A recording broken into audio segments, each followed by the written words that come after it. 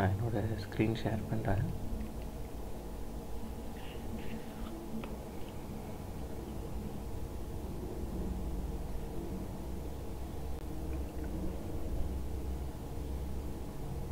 இப்போ பவர் எப்படி கண்டுபிடிக்கிறது?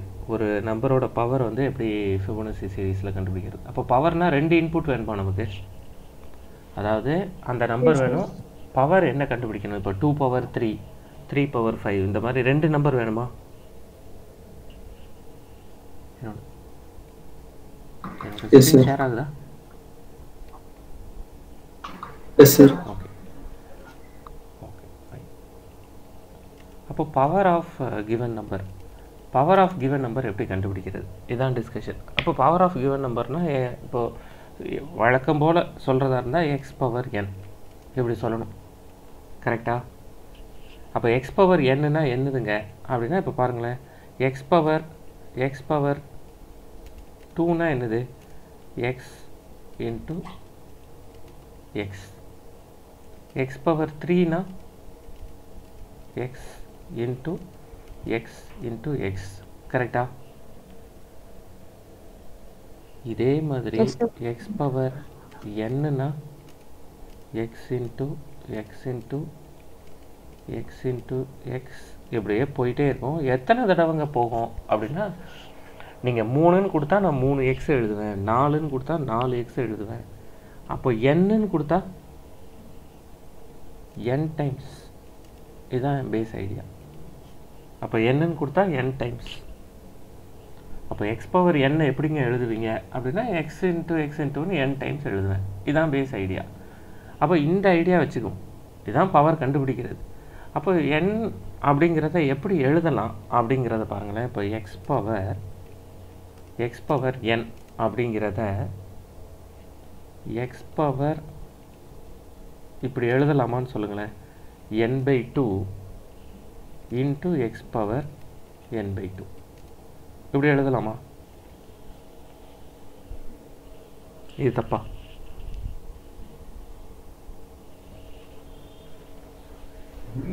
இல்லை சார்.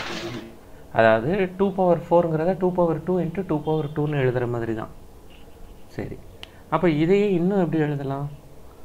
இப்போ இது வந்து எக்ஸ் பவர் இது இதுக்கு நான் எக்ஸ் இந்த இடத்துல இந்த இடத்துல எக்ஸா டூவையும் என்னா ஃபோரையும் வச்சுக்கோங்க. அப்போ இது எப்படி வரும்? Two power two power two into two power two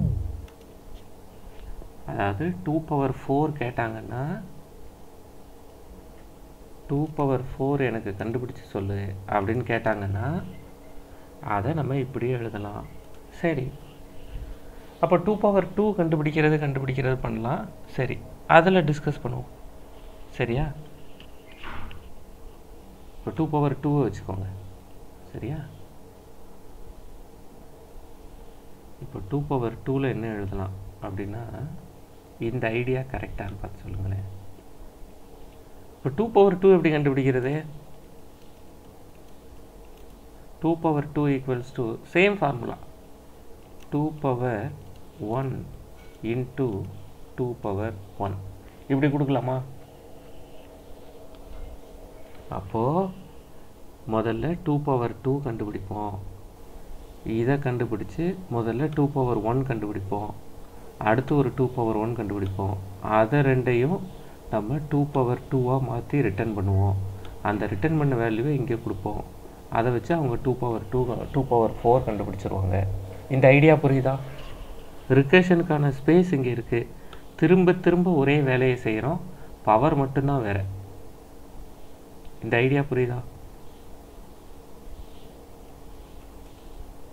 இப்போ டூ பவர் சிக்ஸ்டீன் கண்டுபிடிச்சி சொல்லுங்கள் அப்படின்னு சொல்கிறாங்கன்னா two power சிக்ஸ்டீனுங்கிறது two power eight into two power eight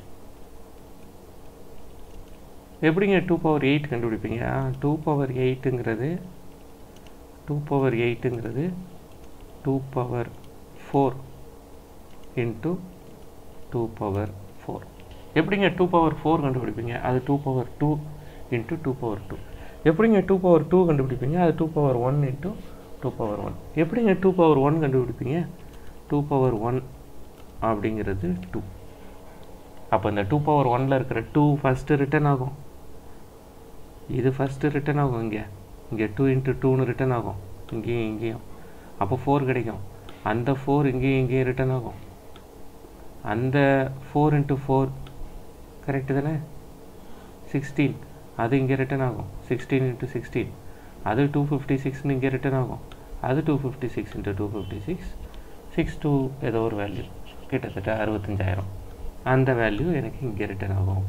அதை நான் சொல்லிடுவேன் யூஸருக்கு அப்போ இந்த இடத்துல எப்படி ஃபேக்டோரியல் கண்டுபிடிச்சோமோ அதே மாதிரியான ஒரு ஐடியா இங்கே இருக்குது அப்படிங்கிறது புரியுதா? நேற்று ஃபேக்டோரியல் பண்ணோம்ல அதே மாதிரியான ஐடியா இங்கே இருக்குங்கிறது புரியுதா? வினித் உங்களுக்கு புரியுதா? புரியுது சார் இது டூ பவர் சிக்ஸ்டீனுக்கு ஒரு வேளை. டூ பவர் செவன்டீன் கேட்டிருந்தாங்கன்னா? டூ பவர் சிக்ஸ்டீனுக்கு தானே இது ஒர்க் அவுட் ஆகும்? டூ பவர் செவன்டீன் கேட்டிருந்தா ஒன்றும் கிடையாது. ஒரே ஒன்றே ஒன்று எக்ஸ்ட்ரா என்ன பண்ணணும்? இதோட சேர்ந்து இன்னொரு தடவை நீங்கள் டூ பவர் ஒன்னையும் கண்டுபிடிச்சிக்கணும். அப்படி தானே கரெக்டா அவ்வளோதான் இதுதான் இந்த ஐடியா தான் ஃபிபோனசி சீரீஸில் பண்ணுறது அப்போ இதை எப்படி பண்ணுறது இப்போ ஃபிபோனசி இந்த ஐடியா தான் பவர் ஆஃப் எண்ணில் பண்ணுறது இப்போ இதை எப்படி பண்ணுறது நமக்கு தெரியும் அப்போ முதல்ல இன்ட் இப்போ நான் உங்ககிட்ட என்ன சொன்னேன்? எக்ஸா அந்த எக்ஸோட வேல்யூ வாங்கிக்கலாம். சரியா? அடுத்தது இன்ட் என் என்னோட வேல்யூவும் வாங்கிக்கணும். இப்போ நான் ஒரு இதுக்கு இந்த இடத்துல எக்ஸோட வேல்யூ ஃபைவ்னு வச்சுக்கிறேன் ஃபைவ் பவர் டூ கண்டுபிடிங்க அப்படின்னு சொல்ல போகிறேன் இந்த இடத்துல ஃபைவ் பவர் டூ நமக்கு தெரியும். ஃபைவ் பவர் டூ டுவெண்ட்டி ஃபைவ்னு அது எப்படி ஒர்க் ஆகுது அப்படின்னு நம்ம பார்க்க போகிறோம் இப்போ ரிகேஷன் ரிகேஷனுங்கிறதே மெத்தட் காலிங் இட் செல்ஃப் அதானே ரிகேஷன் அப்போ கண்டிப்பாக மெத்தட் வேணும்ல? கண்டிப்பாக ஒரு மெத்தட் வேணும்ல? அதனால் பவர் டூ அப்படின்னு ஒரு மெத்தட் கால் பண்ணுறேன் இந்த பவர் டூக்கு எக்ஸையும் என்னையும் பாஸ் பண்ணுறேன் அப்போ பவர் டூங்கிற மெத்தடை டிஃபைன் பண்ண போகிறோம் எப்படி? சரி டிஃபைன் பண்ணுவோம். Power two of int x comma n இந்த இடத்துல டிஃபைன் பண்ண போகிறோம் இன்ட் இங்கே வந்து ஒரு இன்டீஜர் வேல்யூ ரிட்டர்ன் ஆகுது அப்படின்னு கொடுத்துக்கிறோம். இப்போ என்ன பண்ணணும்? இப்போ இந்த இடத்துல இந்த இடத்துல டுவெண்ட்டி ஃபைவ் இல்லை டூ இப்போ இந்த இடத்துல ஃபைவ் பவர் டூங்கிறது யூசர் தானே நம்பர் கொடுப்பாரு. இது என்ன நம்பர் இது என்ன நம்பருங்கிறத யூசர் தானே கொடுப்பாரு.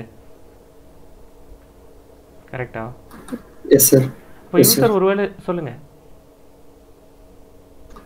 எஸ் சார் புரியுது சார் இப்போ யூசர் ஒருவேளை zero கொடுத்துருந்தாருன்னா any number power zero one one அப்போ நான் முதல்ல அதுக்கான ஒரு இஃப் கண்டிஷன் எழுதிக்கிறேன் இன்கேஸ் சரி அதை கூட கடைசியாக எழுதிக்கலாம். இப்போ நமக்கு டூ கொடுத்துருக்காருன்னு ஸ்ட்ரைட்டாக தெரிஞ்சு போச்சுல்ல. அதனால் இப்போ நான் பண்ண போகிறேன் என்ன பண்ண போகிறேன் இப்போ நான் இன்ட்டு ஒய் ஒரு ரிசல்ட்டு கண்டுபிடிக்க போகிறேன் எப்படி தெரியுமா? Power one of x comma நல்லா பார்த்துக்கோங்க. X comma n divided by two அதானே நம்ம பண்ணோம். இந்த இடத்துல முதல்ல டூ பவர் சிக்ஸ்டீன் கேட்டாங்கன்னா நல்லா பார்த்துக்கோங்க. டூ பவர் சிக்ஸ்டீன் கேட்டாங்கன்னா டூ பவர் எயிட் கண்டுபிடிக்கணும். அதான ஐடியா டூ பவர் சிக்ஸ்டீன் கேட்டால் டூ பவர் எயிட் கண்டுபிடிக்கணும்.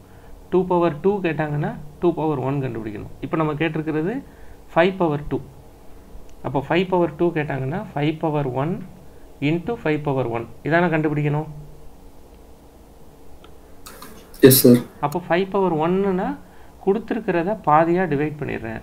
என்ன பாதியாக டிவைட் பண்ணால் என் டிவைடட் பை டூ இந்த ஃபங்க்ஷனை இப்போ நான் கால் பண்ண போகிறேன் அவ்வளோதாங்க இப்படி ஒரு ஃபங்க்ஷனை கால் பண்ண போகிறேன் சரியா? அந்த ஃபங்க்ஷனை கால் பண்ணி அதை ரிட்டர்ன் பண்ணிட போகிறேன் அவ்வளோதான் இப்போ என்ன நடக்கும்? இன்னொரு ஒரு ஃபங்க்ஷன் காலிங் இந்த இடத்துல தேவையா? நான் சொல்கிறது புரியுதா? எஸ் சார் ஓகே இன்னொரு ஒரு சொல்லுங்கள் okay sir correct sir function தான் ஒருத்தி கால் பண்ணுவோம் அப்போ இன்ட் பவர் டூ அப்படின்னு இன்னொரு ஒரு ஃபங்க்ஷனை கால் பண்ணுறேன் இன்ட் க எக்ஸ் கமா இன்ட் என் இப்படி வந்துருச்சு. சரியா? இப்போ இந்த இடத்துல என்ன பண்ணுறேன் தெரியுமா? இப்போ என்னோட வேல்யூ என்னங்க பவர் ஒன் தானே சார் ஆ பவர் ஒன் அப்போ இந்த இடத்துல எக்ஸோட வேல்யூ ஃபைவ் என்னோட வேல்யூ ஒன் கரெக்டா கரெக்டா அப்போது இந்த இடத்துல இஃப் கேஸ் எழுதுறேன். If n equals to equals to one அப்படி இருந்தால் எனக்கு எக்ஸையே ரிட்டர்ன் பண்ணிடலாம்ல ஃபைவ் பவர் ஒன் ஃபைவ் தானே?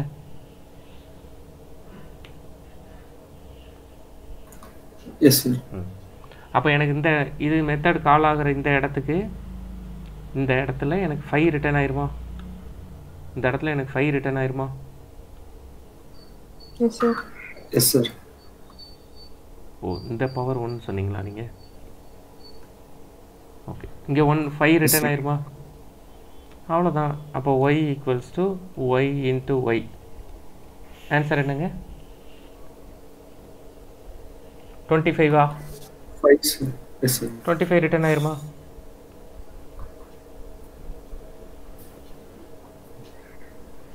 நான் சொல்கிறது புரியுதா? எஸ் சார் புரியுது சார் அப்போ அடுத்தது போவோம். இப்போ இதே ஃபைவ் பவர் ஃபோர் கண்டுபிடிப்போமா? நரேஷ் துரை உங்களுக்குலாம் புரியுதா? பயங்கர சைலண்டாக இருக்கீங்க சார் புரியுது சார். ஓகே என்ன ஃபைவ் பவர் ஃபோர் கண்டுபிடிப்போமா? அப்போ five power four sir five power ஃபோருக்கான idea என்ன? ஃபைவ் பவர் ஃபோருங்கிறது இங்கே முந்தின பேஜில் எழுதி வச்சுக்கிட்டேன் ஃபைவ் பவர் ஃபோர் கண்டுபிடிக்கணும் அப்போது ஃபைவ் பவர் ஃபோர் கேட்டிருக்காங்க இப்போ ஃபைவ் பவர் ஃபோரை எப்படி யோசிக்கலாம் five power two into five power two அப்போ ஃபைவ் பவர் டூவை எப்படி யோசிக்கலாம் five power two equals to five power one into five power one இப்படி யோசிக்கலாம் அப்போ ஃபைவ் பவர் ஒன் என்னது ஃபைவ் பவர் ஒன் ஃபைவ் தான் பிரச்சனையே கிடையாது கரெக்டாக இந்த இதை தான் நம்ம பண்ண போகிறோம் இதை இந்த ஐடியாவை தான் இம்ப்ளிமெண்ட் பண்ண போகிறோம் அப்போ எப்படி இம்ப்ளிமெண்ட் பண்ணுறது இதை எடுத்து வச்சிடறேன். எப்படி இம்ப்ளிமெண்ட் பண்ணுறது இங்கேயே எழுதிக்கலாம் நம்ம. கோடிங் இப்போ இந்த ஐடியாவை எப்படி கொண்டு வர்றது? இப்போ பாருங்கள் கொடுத்துருக்கிற நம்பர் என்ன? அதை எக்ஸ்னு வச்சுக்கிறேன் நான் எக்ஸ்னு எக்ஸ்பிளைன் பண்ணேன். அதனால் அப்படி வச்சுருக்கேன். ஃபைவ் பவர் என்ன கேட்குறாங்க பவர் ஃபோர் கேட்குறாங்க சரி. அப்போ நான் power four of power four of x comma n சரி. அப்போ எனக்கு ஒரு மெத்தட் கால் ஆகுமா? பவர் ஃபோர்னு அதில் இன்ட்டு எக்ஸ்கமா இன்ட்டு என் வருமா? அந்த மெத்தடில் அந்த மெத்தடில் போயிட்டு if n equals to equals to one அப்படி இருந்துச்சுன்னா ரிட்டன் எக்ஸ் அப்படி அப்படி இல்லைன்னா அப்படி இல்லைன்னா இன்ட் சும்மா ஒய்னு வச்சுக்கிடுறேன். ஒய் ஈக்குவல்ஸ் டு சரியா? Int y equals to power three of நல்லா பார்த்துக்கோங்க.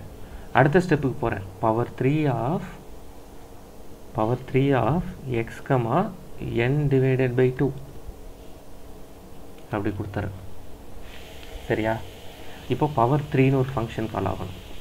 இது பவர் ஃபோர்னு வச்சுக்கோங்க. இப்போ பவர் த்ரீ அப்படின்னு ஒரு ஃபங்க்ஷன் கால் ஆகணும். அந்த பவர் த்ரீ ஃபங்க்ஷன்லேயும் இது ஒன்றும் இல்லை இதே கூட தான் ரிகர்ஷனுங்கிறனாலே அதே மெத்தட் அதே கால் பண்ணுறது அப்போ கண்டிப்பாக நம்ம வேறு கோடு எழுத போகிறதில்ல பவர் த்ரீன்னு வேற ஒரு இதை எழுத போகிறோம் அங்கே இப்போ என்ன இங்கே என்னோட வேல்யூ என்ன? இங்கே எக்ஸோட வேல்யூ ஃபைவ் என்னோட வேல்யூ என்ன? டூ டூ ஆ. இப்போ பவர் த்ரீலேருந்து பவர் டூவை கால் பண்ணுறேன் power two of n divided by two n divided by டூங்கிறது ஒன்றாயிரும் அப்போ இங்கேருந்து சரியா? இங்கேருந்து நம்ம இன்னொரு ஒரு ஃபங்க்ஷனை கால் பண்ண போகிறோம் இன்னொரு ஒரு மெத்தட் அதுலேயும் இதே கோடு தான். பவர் டூன்னு பெயர் மாற்றிருப்போம் அவ்வளோதான் பவர் டூ அவ்வளோதான் இப்போ எக்ஸோட வேல்யூ இந்த இடத்துல. எக்ஸோட வேல்யூ ஃபைவ் தான். என்னோட வேல்யூ ஒன் சரியா தப்பா? அப்போ என்னோட வேல்யூ ஒன்றா இருந்தால் எனக்கு எக்ஸையே ரிட்டர்ன் பண்ண சொல்லிடுறேன். கரெக்டா அப்போ எக்ஸ் எங்கே ரிட்டர்ன் ஆகும்? எஸ் எக்ஸ் இங்கே Oh, ரிட்டர்ன். ஆயிருமா? ஒய்க்கு ரிட்டர்ன் ஆயிருமா? அப்படி ரிட்டர்ன் ஆன உடனே இந்த இடத்துல என்ன பண்ணுறேன் பாருங்க. அப்படி ரிட்டர்ன் ஆன உடனே y equals to y into y அப்போ ஒய்யோட வேல்யூ இப்போ என்னவா மாறிடும்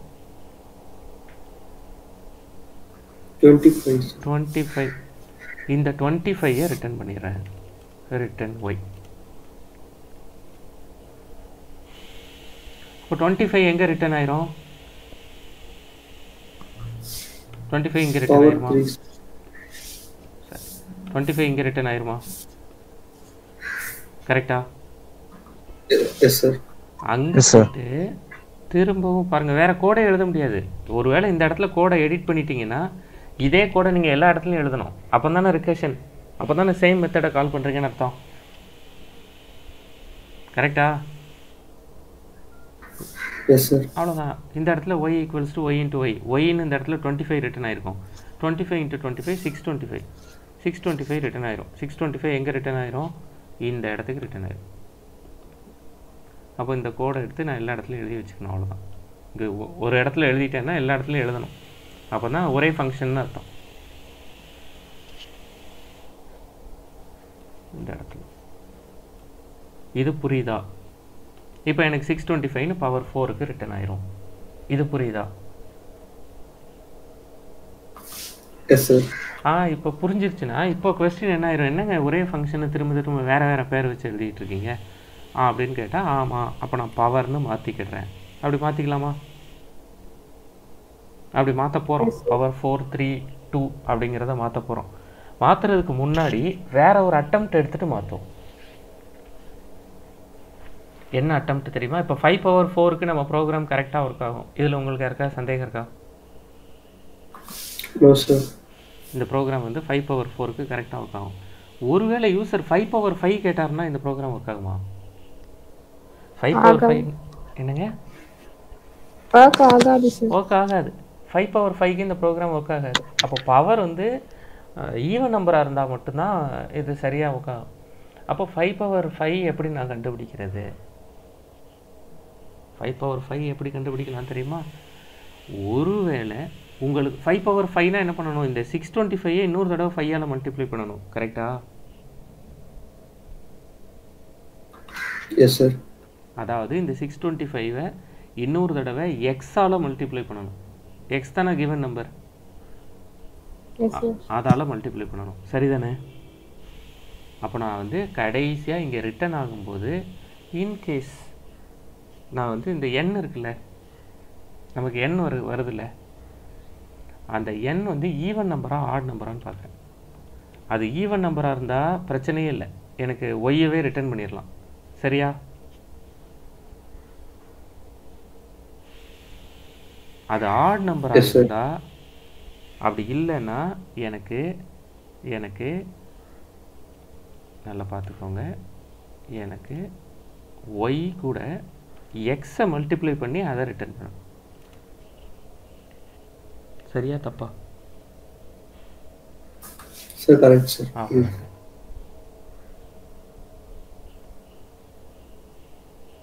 அவ்வளோதான் ப்ரோக்ராம் அப்போ இந்த கோடை எல்லா இடத்துலையும் எழுதி காப்பி பண்ணி வச்சுக்கணும். ஏன்னா ஒரு இடத்துல சேஞ்ச் பண்ணால் எல்லா இடத்துலையும் சேஞ்ச் பண்ணணும்ல? அப்போ தானே ஃபங்க்ஷன் கரெக்டாக இருக்கும்? ரிகர்ஷனுங்கிறது இது எல்லா இடத்துலையும் வச்சு புரியுதா? எஸ் சார் இப்போ இதில் இன்னும் ஒரு சின்ன இது புரிஞ்சிருச்சுன்னா இதில் நான் ஏதோ பாஸ் பண்ணணும் ஒரு நிமிஷம் வெயிட் பண்ணணும்னா வெயிட் பண்ணுறேன் இல்லைன்னா சொல்லுங்கள் புரிஞ்சுதுன்னா சொல்லுங்கள் அடுத்த பாயிண்ட் போகிறேன்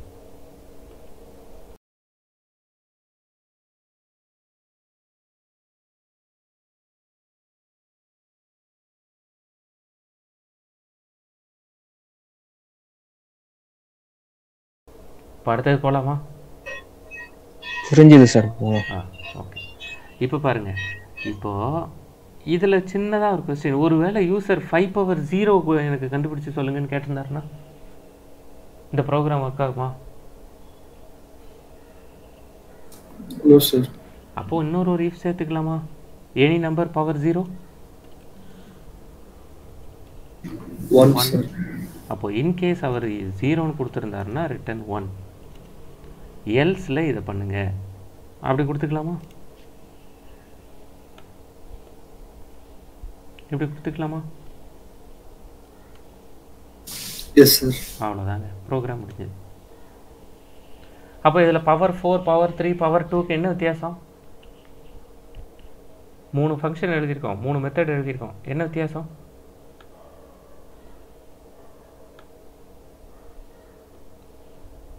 ஒரு வித்தியாசமும் இல்லை. அப்படி தானே அப்போ ஒரு வித்தியாசமும் இல்லைன்னா இதெல்லாம் வேண்டாம். இதெல்லாம் எடுத்து விட்டுடலாம். இதை பவர்னு மாற்றுங்க இதை பவர்னு மாற்றுங்க அவ்வளோதாங்க இதான் recursion power of numbers using recursion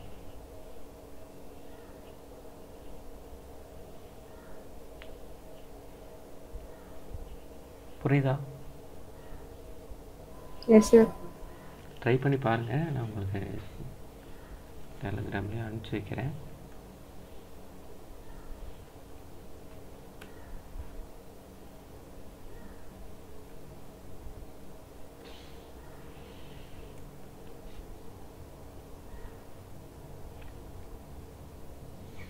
இதில் இதான் செவன்த் ப்ரோக்ராம் தான் நான் உங்ககிட்ட சொன்னேன். இது கொஞ்சம் பெரிய ப்ரோக்ராமாக இருக்கும். நான் உங்களுக்கு சொல்கிறேன்னு சொன்னேன். கரெக்டாக இது புரியுதா? இப்போ நீங்கள் எதுவும் இதை ட்ரை பண்ணி பார்க்கணுமா? இல்லைனா அடுத்தது போகலாமா உங்களுக்கு ஏதாவது கஷ்டமாக இருக்கா? சார் ஒரு ட்ரை பண்ணிக்கிறேன் சரி ட்ரை பண்ணுங்கள்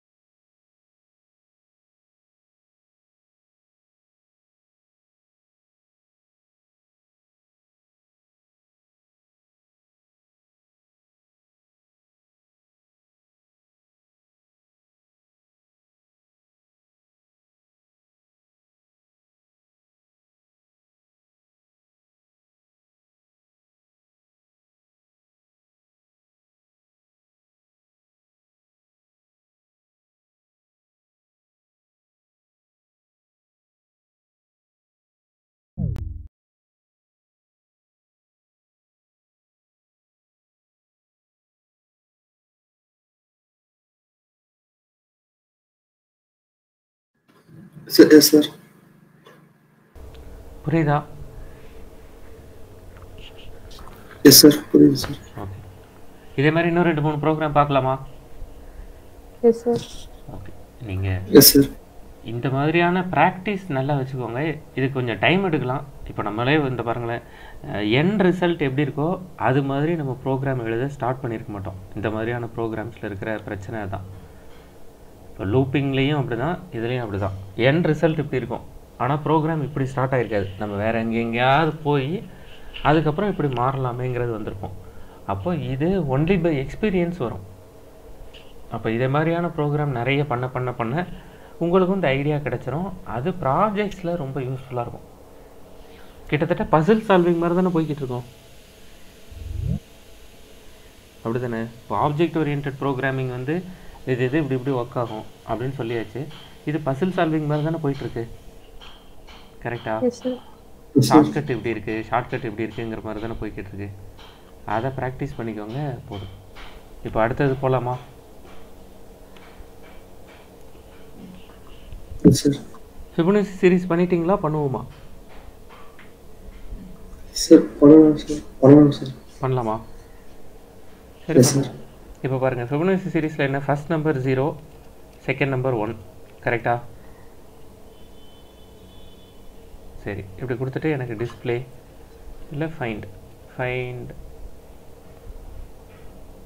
ஃபைண்டே வச்சுக்கிறப்ப ஃபைன் ஃபிபோ அப்படின்னு எனக்கு ஃபைவ் மொதல் அஞ்சு நம்பர் ஃபிபோனசி சீரீஸில் மொதல் அஞ்சு நம்பர் கேட்டாங்க. சரியா? அப்போ நான் என்ன பண்ணுறேன் தெரியுமா? என்னோடய ஃபஸ்ட் வேல்யூ என்ன? என்னோட செகண்ட் வேல்யூ என்ன? என்னோடய கவுண்ட் என்ன? இது மூணையும் நான் அனுப்புகிறேன் என்னோடய கவுண்ட் இப்போ நான் ஃபைவ் அப்படின்னு வச்சுக்கிறேன். என்னோட கவுண்ட் ஃபைவ் அப்படின்னு வச்சுக்கிறேன். ஃபைன் ஃபிபோ ஃபைவ் அப்படின்னு வச்சுக்கலாம். சரி இப்போ ஒரு மெத்தட் கால் ஒரு மெத்தட் கிரியேட் பண்ணணுமா? Find fibo five of int f comma int s comma int சின்னு வச்சுக்கிறேன். சரியா? கவுண்ட்டை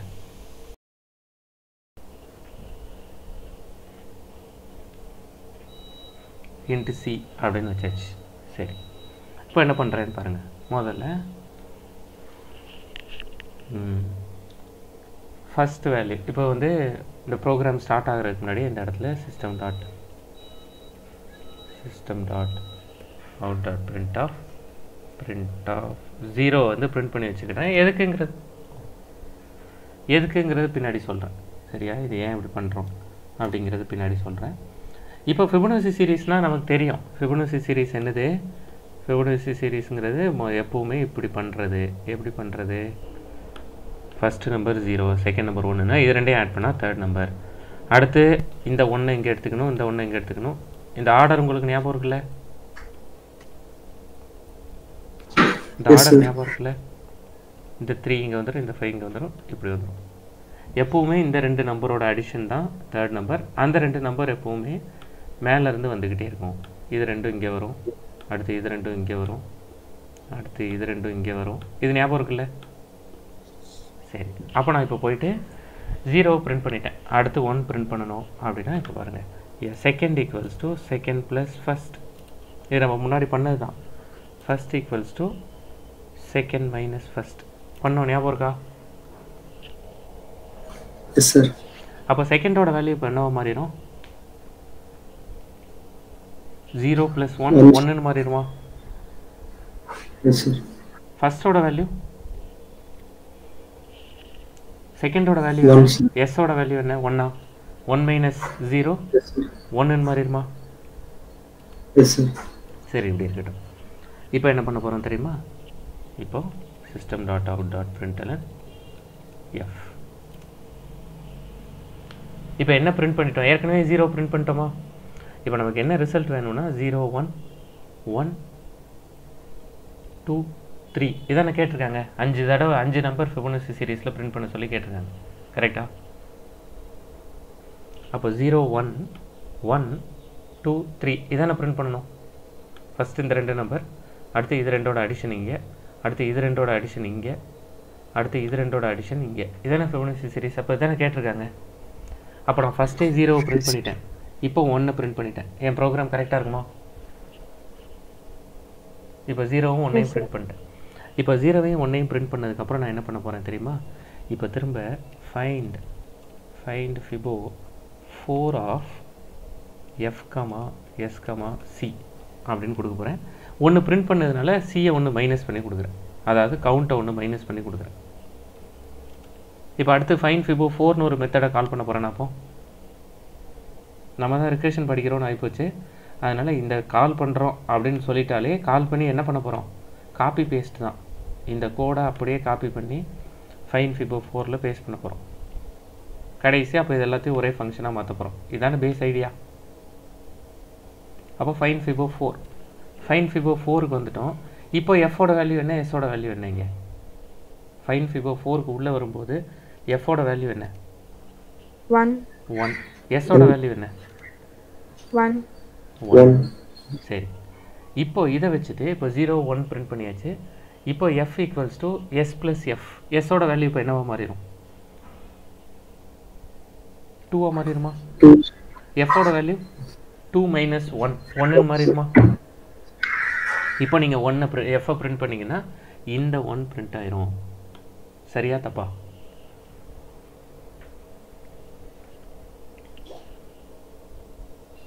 சரியா சார் தப்பா சார்.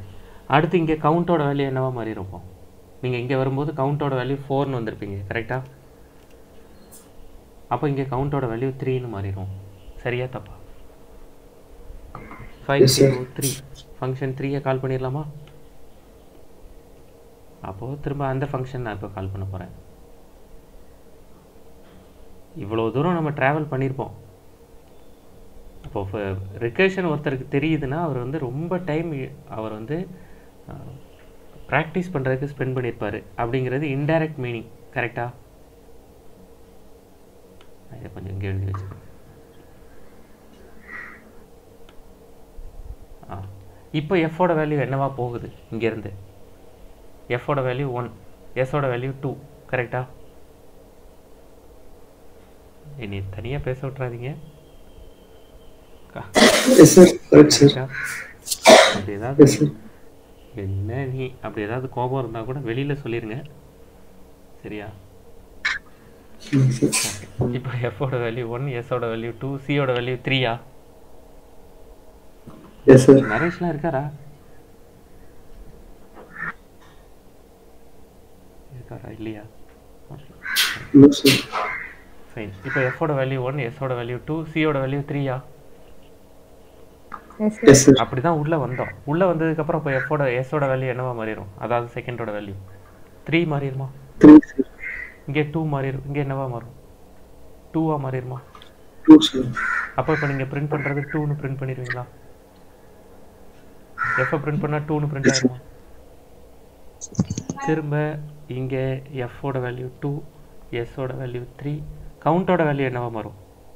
டூன்னு மாறிடுமா டூ எஸ் சார் அப்போ திரும்ப இந்த ஃபங்க்ஷன் கால் பண்ணுவீங்க. இப்போ find fibo two find fibo two இப்போ எஃபோட வேல்யூ எஃபோட வேல்யூ டூ எஸ்ஸோட வேல்யூ த்ரீ கவுண்டோட வேல்யூ டூ கரெக்டா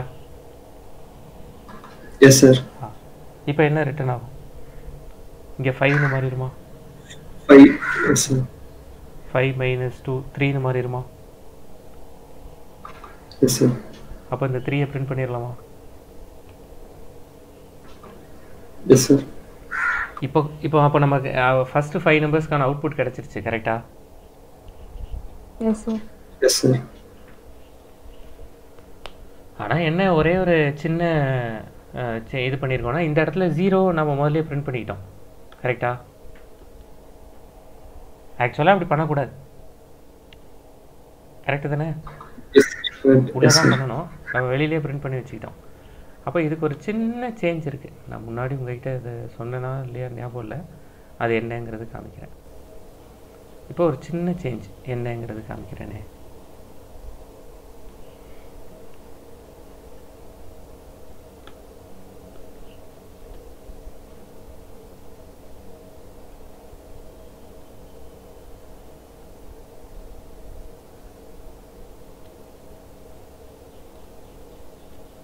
சரியா இப்படி கோடு எழுதி வச்சுக்கிட்டேன். எல்லாமே சேம் கோடு தான்.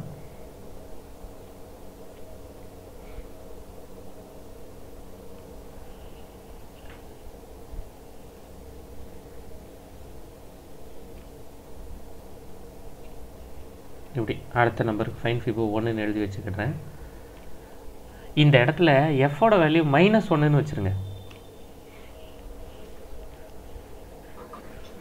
ஓகே சார் இப்போ ஜீரோ இப்போ இது தேவையில்லை. ஃபஸ்ட் டைம் ஜீரோ பிரிண்ட் ஆகும். அடுத்தடுத்த நம்பர்ஸ் கரெக்டாக பிரிண்ட் ஆகும். எஸ் சார் அப்போ ஃபைன் ஃபிபோ ஒன்றுக்கு போவீங்க. இப்போ கவுண்டோட வேல்யூ இந்த இடத்துல கவுண்டோட வேல்யூ ஒன்றா மாறிடுமா? டூவாக மாறுமா? ஒன்றா மாறுமாங்க? ஒன்றுன்னு மாறிடுமா? இப்போ இந்த இடத்துல கவுண்ட் ஃபோர் கரெக்டா இந்த இந்த மெத்தடில் சியோட வேல்யூ ஃபோர் இந்த மெத்தடில் சியோட வேல்யூ த்ரீ இந்த மெத்தடில் சியோட வேல்யூ டூ அப்போ அடுத்து மைனஸ் ஒன் கொடுத்தீங்கன்னா ஒன் தானே? அப்போ அந்த ஒன் வந்து இங்கே வந்துடும் இந்த இப்போ நீங்கள் எது வரைக்கும் த்ரீ வரைக்கும் பிரிண்ட் பண்ணியிருக்கீங்களா எஸ் சார் அப்போது இப்போ நீங்கள் இந்த இடத்துல என்ன பாஸ் பண்ணுவீங்க? ஃபைவ் கமா த்ரீயை பாஸ் பண்ணுவீங்களா? எஸ் அப்போ எஸ்ஸோட வேல்யூ எஃபோட வேல்யூ இங்கே ஃபைவ் எஸ்ஸோட வேல்யூ த்ரீ இப்படி போயிருக்குமா?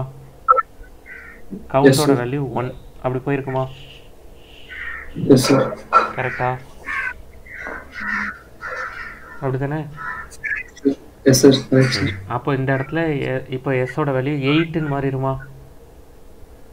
எஸ் சார் எஃபோட வேல்யூ ஃபைவ்னு மாறிடுமா? எஸ் சார் அதை பிரிண்ட் பண்ணிக்கலாம்.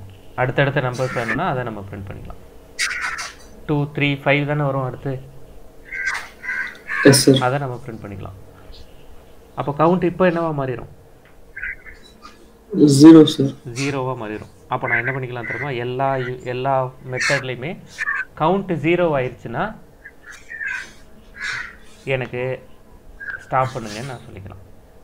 கரெக்டா ஓகே சார் இது புரியுதா? அப்போ நான் என்ன பண்ணிக்கலாம்னா இந்த இடத்துல ரிட்டன் ரிட்டன் ரிட்டர்ன் கொடுத்துக்கலாம். ஒன்றும் கிடையாது. இந்த இடத்துல ரிட்டன் ஸ்டேட்மெண்ட் சேர்த்துக்கணும் அவ்வளோதான் இதை நான் ரொம்ப டீட்டெயில் இது இது புரியுதுல்ல உங்களுக்கு கிளியரா return statement function method name கொடுத்து ரிட்டர்ன் கொடுக்கறது புரியுதுல்ல? புரியுது சார். இப்போ இந்த ஃபிபோனசி சீரீஸில் ஒரு grip கிடைச்சிருச்சா இதில்? எஸ் சார் ஒன்னே ஒன்று என்ன பண்ணணும் if count equals to equals to zero அப்போ நாட் ஜீரோவாக இருந்தால் மட்டும் எனக்கு இதை பண்ணுங்க அப்படின்னு நீங்கள் எழுதிக்கணும். ஜீரோவாக இருந்தால் இது எதுவுமே பண்ண வேண்டாம் கரெக்டா கரெக்டா எஸ் சார்.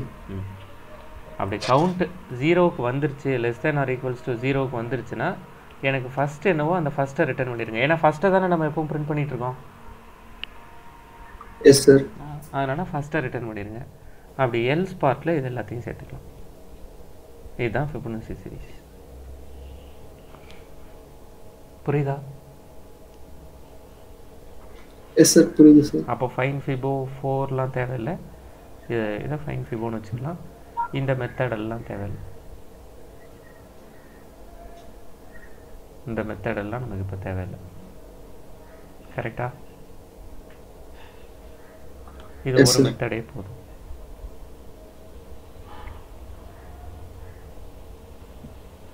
புரியுதா?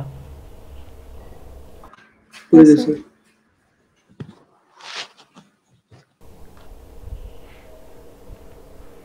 அப்போ உங்களுக்கு நீங்கள் இந்த இடத்துல இப்போ நீங்கள் பிரிண்ட் கொடுக்கனா கொடுத்துக்கலாம் பிரிண்ட் கொடுக்கலனா ஒவ்வொரு தடவையும் நம்ம எடுத்து எடுத்து பிரிண்ட் பண்ணிக்கலாம். அவ்வளோதாங்க இந்த இடத்துல Sir. ஸ்ட்ரைட்டாகவே ஆ சொல்லுங்கள் சார் இப்போ இந்த மாதிரி ரிகர்ஷன் பண்ணணும்னா ஃபர்ஸ்ட் ஐடியாக்காக எல்லாமே எழுதி எழுதி வச்சுக்குவோம் சார் ஒரு ஒரு வாட்டியும் அப்படிலாம் பண்ண மாட்டோம் ஐயோ அது எப்போ முடிக்கிறது எடுத்தோடனே இந்த மாதிரி. கஷ்டமாக இருக்குங்கிறீங்களா. அதுக்கு தான் ஒரு பத்து ப்ரோக்ராமாவது ப்ராக்டிஸ் பண்ணுங்கன்னு கேட்குறேன் நான் நீங்கள் ப்ராக்டிஸ் பண்ணிட்டீங்கன்னா. அந்த ஐடியா உங்களுக்கு வர ஆரம்பிச்சிடும் அதுக்கப்புறம் நீங்கள் இது மாதிரி தாங்க இது. இது என்ன இந்த கவர்மெண்ட் எக்ஸாம் ப்ரிப்பேர் பண்ணும்போது ஃபார்முலாவாக உட்காந்து படிப்போம்ல.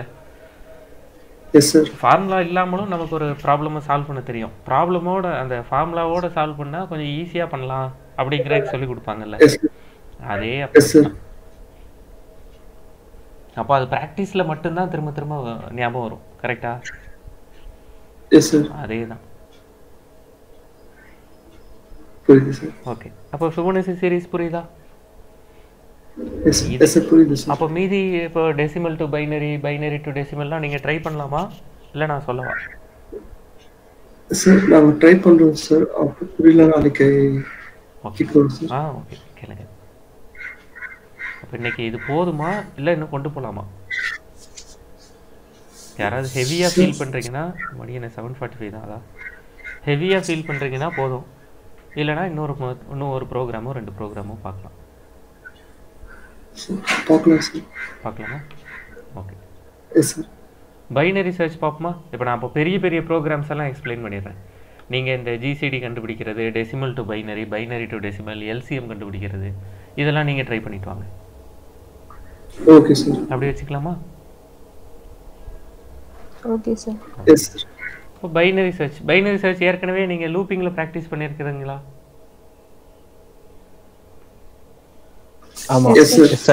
லூப்பிங் ப்ராக்டிஸ் பண்ணது இப்படி தான் இந்த ப்ரோக்ராம் தான் எழுதியிருக்கீங்க. ஏஆர்னு ஒன்று வச்சுருக்கீங்க. அதில் ஏதோ ஒரு வேல்யூ வச்சுருக்கீங்க. பைனரி சர்ச்னாலே சார்ட்டடாக இருக்கணும். எஸ் சார் உங்களோட மெத்தட் வந்து சார்ட்டடாக இருக்கணும். அப்போ சார்ட்டடாக இருக்கணும்னா பத்து இருபது முப்பது நாற்பது சும்மா எழுதிக்கிறேன் சரியா? ஐம்பது அறுபது எழுபத்தெட்டு தொண்ணூற்றி ரெண்டு இப்படி ஏதோ ஒரு வேல்யூ வச்சுக்கிட்டேன் இப்படி சார்ட்டடாக இருக்கணும். இதில் நீங்கள் ஒரு நம்பரை போய் தேட போகிறீங்க சரியா? அந்த நம்பரை வந்து ஸ்கேனர் கிளாஸ் யூஸ் பண்ணி நெக்ஸ்ட் இன்ட்டுன்னு போட்டு வாங்கிக்க போகிறீங்க சரி வாங்கிட்டீங்க. இப்படி வாங்கினதுக்கு அப்புறமா என்ன பண்ண போகிறீங்க போய் தேட போகிறீங்க எப்படி தேட போகிறீங்க இன்ட் ஸ்டார்ட் வேல்யூவா என்ன வச்சுக்கிட்டீங்க? மேக்ஸ் மின் இப்படி ஏதாவது ஒன்று வச்சுக்கலாம் இல்லை start value start value zero end value array dot length array dot length minus one இதை வச்சு தான் பண்ணியிருப்பீங்க கரெக்டா எஸ் சார் இப்போ while start less than end அப்போ உள்ளே வந்திருப்பீங்க int mid value mid value equals to start plus end divided by 2 if if array of mid equals to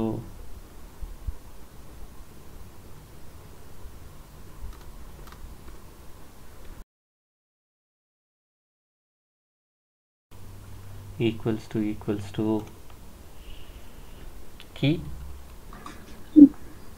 Ah, ஒரு மெசேஜ் கொடுத்துட்டு பிரேக் பண்ணிடுவீங்க கரெக்டாக yes sir system dot out dot print of got அப்படி ஏதோ ஒரு message கொடுப்பீங்க message கொடுத்துட்டு break பண்ணிடுவீங்க அப்படி இல்லைன்னா else if AR of mid greater than இல்லை கீ வந்து கிரேட்டர் தென் ஏதோ ஒன்று வச்சுக்கோங்க. கீ ஏஆர் ஆஃப் மிட்டை விட பெருசான்னு பார்ப்பீங்க. அப்படி பெருசாக இருந்ததுன்னா இப்படி பெருசாக இருந்ததுன்னா என்னோட ஸ்டார்ட் பாயிண்ட் வந்து மிட் ப்ளஸ் ஒன்றா மாறிடும். கரெக்டா எஸ் சார் அப்படி இல்லைன்னா என்னோட என் பாயிண்ட் மிட் மைனஸ் ஒன்றா மாறிடும். அவ்வளோதானே எஸ் சார் எஸ் சார் இவ்வளோ தானே எழுதியிருப்பீங்க? எஸ் சார் அப்போ கிடச்சிருச்சுன்னா நீங்கள் இதில் ஒரு என்ன எக்ஸ்ட்ராவாக ஒரு பூலியன் வேல்யூ வச்சுருப்பீங்க. கிடச்சிருச்சு அப்படின்னா இதை பூலியன் வேல்யூவும் வச்சுக்கலாம் இல்லை இதை ஒரு மெத்தட் காலிங்காகவும் வச்சுக்கலாம். இப்போ வந்து பைனரி சர்ச் அப்படின்னு ஒரு மெத்தடை கால் பண்ணுறோன்னு வைங்களேன். ஒரு மெத்தட் கால் ஆகும். இன்ட் பைனரி சர்ச் அப்படின்னு ஒரு மெத்தட் கால் ஆகும். அந்த மெத்தடுக்குள்ளே இந்த கோடெல்லாம் எழுதி வச்சுக்கலாம். கரெக்டாக சொல்கிறது புரியுதா? எஸ் சார் புரியுது சார் அந்த மெத்தடுக்குள்ளே நம்ம வந்து இன்ட் ஸ்டார்ட் வேல்யூ என்ன இன்ட் எண்ட் வேல்யூ என்னங்கிறத மட்டும் அனுப்பிச்சி வச்சிடணும் அவ்வளோதான் அப்போ தானே அது தெரியும். இன்ட் அரே எஸ் இந்த மூணையும் அந்த மெத்தடுக்கு அனுப்பிச்சி வச்சிடணும் அந்த மெத்தடு இந்த இந்த அப்ரோச் சொல்லலையா உங்ககிட்ட? நான் மெத்தட் வச்சு சொன்னேனா? எஸ் சார் சொன்னீங்க சார் அரேவை பாஸ் பண்ணுற மாதிரி சார் அரேவை பாஸ் பண்ணி வச்சுக்கலாம். அரேவை பாஸ் பண்ணிவிட்டு எப்போ கிடைக்குதோ அப்போ வந்து ரிட்டர்ன் பண்ணிடலாம் பிரேக் கொடுக்குறதுக்கு பதிலாக ரிட்டன் மிட் அப்படின்னு கொடுத்துடலாம்.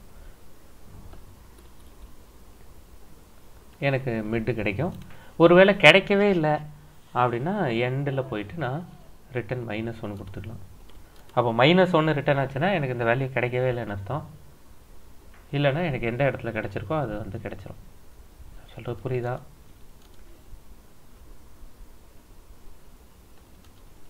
இப்படி வச்சுக்கலாம். சார் ரிட்டர்ன் மைனஸ் ஒன் அது புரியல சார் இப்போ நான் தேடுற நம்பர் இல்லைன்னா என்ன பண்ணுறது சார் அப்போ வந்து பூலியன் அதாவது ஃபால்ஸ்னு கொடுத்துட்டு அது தனியா ஒரு இஃப் கண்டிஷன் அதே தான் அப்படி பண்ணுறதே தான் இன்னொரு ஒரு அப்ரோச்சில் சொல்கிறேன் அவ்வளோதான் இப்போ நீங்கள் தேடுற நம்பர் இப்போ நீங்கள் ஃபார்ட்டி தான் தேடுறீங்கன்னு வைங்களேன். அப்போ ஒரு டைமில் காட்டுன்னு உங்களுக்கு மெசேஜ் கிடைச்சிருமா? அது ரிட்டர்ன் ஆயிரும். கரெக்டா அது. இந்த இடத்துக்கு ரிட்டர்ன் ஆயிரும். ரிசல்ட்டாக ரிட்டர்ன் ஆயிரும். சரியா? இப்போ நான் என்ன சொல்கிறேன்னா நீங்கள் வந்து ஹண்ட்ரட்னு ஒரு நம்பர் தேடுறீங்க. கிடைக்குமா? அப்போ இந்த இஃபுக்குள்ளே போக போவீங்களா? போகாது எப்பவுமே போக மாட்டீங்க. இந்த இஃபுக்குள்ளே எப்பவுமே போக மாட்டீங்க. ஆனால் இந்த இஃபுக்குள்ளே தான் ரிட்டர்ன் ஸ்டேட்மெண்ட் இருக்குது இது ஒரு இன்டீஜர் மெத்தட் அப்போ கண்டிப்பாக ரிட்டர்ன் வேல்யூ ரிட்டர்ன் பண்ணணும். அப்போ ஒரு ஒரு பாயிண்ட் ஆஃப் டைமில் இந்த இஃபுக்குள்ளே போக மாட்டீங்க இந்த இஃபுக்குள்ளே போக மாட்டீங்க இந்த எல்ஸுக்குள்ளே போக மாட்டீங்க இப்படி போயிட்டே இருப்பீங்க. அப்போ கடைசியாக ரிட்டர்ன் மைனஸ் ஒன்றுன்னு கொடுத்து வச்சிருவாங்க. அதாவது இந்த sir. எதுவுமே ஒர்க் அவுட் ஆகலைன்னா மைனஸ் ஒன்னை ரிட்டர்ன் பண்ணுங்க அப்போ வேல்யூ கிடைச்சதுன்னா உங்களுக்கு அந்த மிட் வேல்யூ அது பொசிஷன் என்னங்கிறது கிடைச்சிரும். வேல்யூ. கிடைக்கல நம்பர் இல்லைன்னா மைனஸ் ஒன்றுங்கிறது ரிட்டர்ன் ஆயிரும். அப்போ வந்து அந்த நம்பர் இல்லைன்னு அப்போ ரிசல்ட் ஒருவேளை நெகட்டிவாக இருந்துச்சுன்னா நம்பர் இல்லைன்னு அர்த்தம். இப்படின்னு எழுதியிருப்பாங்க. நான் வேணா இந்த கோடையும் உங்களுக்கு அனுப்பிச்சி வைக்கிறேன். இது புரியுதா? மெத்தட் வச்சு எழுத சொல்லுவாங்க. இப்படி மெத்தட் வச்சு எழுத ஏன்னா நீங்கள் நீங்கள் தான் ஆப்ஜெக்ட் ஓரியன்ட் ப்ரோக்ராமிங் படிச்சிட்டீங்க உங்களுக்கு மெத்தட் எழுதுறது எஃபிஷியன்ட்டுன்னு உங்களுக்கு தெரியுமே. அப்போ நீங்கள் இப்படி எழுத வேண்டியதானேன்னு கேட்பாங்க. அப்போ நம்ம இப்படி எழுதலாம். மெத்தட் தான் வந்து ரீயூசபிள் பிளாக்ஸ் கரெக்டா எஸ் சார் எஸ் சார் அதுக்காக.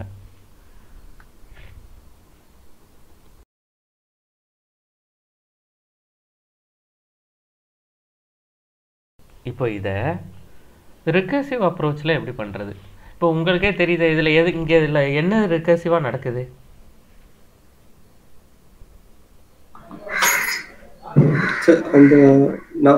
சர்ச்சிங் தான் சார் அவ்வளோதான் அப்போ இந்த லூப்பே எடுத்து விட்டுறலாம். இப்போ நான் இதே ப்ரோக்ராமை தான் யூஸ் பண்ண போகிறேன் இதே ப்ரோக்ராமை எடுத்து வச்சுட்டு இந்த இந்த மிட் வேல்யூ தானே ரிகர்சிவாக மாறிக்கிட்டே இருக்கு? எஸ் சார்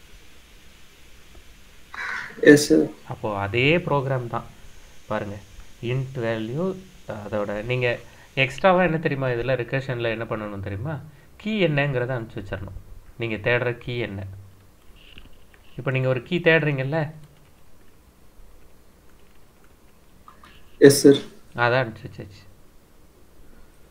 சரியா? இப்போ அந்த கீயவும் இந்த மெத்தட் ஸ்டார்டிங் பாயிண்ட் என்ன எண்டிங் பாயிண்ட் என்ன என்னோட அரே என்ன நான் தேடுற கீ என்ன?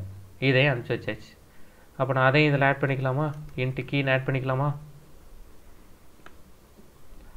ரிகர்ஷனாலே மெத்தட் காலிங் இட் செல்ஃப் தானே? எஸ் சார் அப்போ என்ன பண்ண போகிறோம்னா அந்த லூப்பெல்லாம் ரிகர்ஷனாலே லூப் கிடையாதுல்ல? எஸ் சார் லூப் இல்லை சார் கண்டிஷன் ஃபஸ்ட்டு உள்ளே போய் மிட் வேல்யூ கண்டுபிடிச்சிட்டேன். மிட் வேல்யூ கண்டுபிடிச்சிட்டு ஒருவேளை கிடச்சிச்சுன்னா ரிட்டர்ன் மிட்டு கொடுத்துட்டேன். அப்படி இல்லைன்னா ஸ்டார்ட் வேல்யூவை மாற்றிட்டேன் எண்ட் வேல்யூவை மாற்றிட்டேன் அப்படி எண்ட் வேல்யூ ஸ்டார்ட் வேல்யூவை மாற்றிட்டு சரியா? இப்படி மாற்றிட்டு ரிட்டன் ரிட்டன் நல்லா பார்த்துக்கோங்க. Return binary search of end value start value மாறிடுச்சுல?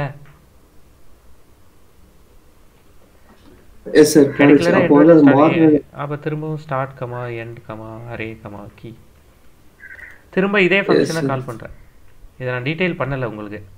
உங்களுக்கு நல்லா புரியும்னு.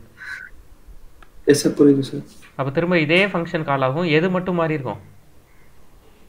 எண்டோ. ஸ்டார்ட்டோ மட்டும் மாறி இருக்கும். இது ரெண்டுல எதுன்னு நமக்கு தெரியாது. ஆனா கண்டிப்பா இது ரெண்டுல ஏதோ ஒன்று மாறி இருக்கும். சரியா தப்பா? அப்போ திரும்பவும் மிட்டு மாறுமா? திரும்பவும் செக் பண்ணுவீங்களா? திரும்பவும் எண்டோ மிட்டோ மாறுமா? திரும்பவும் பைனரி சர்ச்சை கால். பண்ணுவீங்களா? எஸ் சார் அவ்வளோதாங்க சார் இப்போ இது எப்படி மைனஸ் இல்லைனா சார் அதுக்கு ஒரு இது சார் இல்லைனாங்கிறதுக்கா சார் ஆமாம் திரும்ப திரும்ப கால் ஆகிட்டே இருக்கும்போது எனக்கு ஏதாவது ஒரு டைமில் என்னோட கண்டிஷன் நான் பார்த்துக்கணும் இந்த இடத்துல. இஃப் இஃப் கண்டிஷன் நான் கொடுக்கணும்ல. சார் என்னோட என்னோட ஸ்டார்ட் வேல்யூவை விட இந்த இடத்துல அங்கே கொடுத்தோம்ல if condition கொடுத்தோம்ல. Yes end is smaller than start அப்போ அந்த அதை நான் இதில் எழுதிக்கணும். ஓகே சார் என்னோட எண்ட் வந்து இந்த இடத்துல if start less than end அப்படி இருந்தால் தான் இது மொத்தமும். எஸ் சார் புரியுது சார் அப்படி இல்லைன்னா ரிட்டர்ன் மைனஸ் ஒன்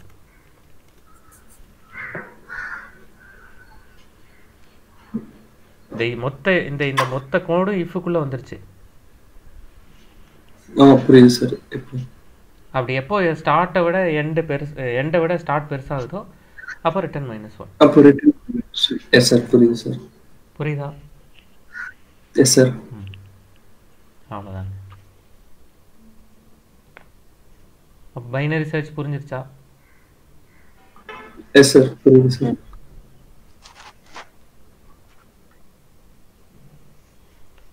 அப்போ நம்ம இன்னைக்கு வந்து இந்த ப்ரோக்ராம்ஸில் இதை இப்போ நம்ம இதை கண்டினியூ பண்ணுவோமா? இல்லை இதை ப்ராக்டிஸ் பண்ணிட்டு வரீங்களா? இதுக்கு அடுத்து decimal to binary binary to decimal GCD இல்லை நானே சொல்லவா?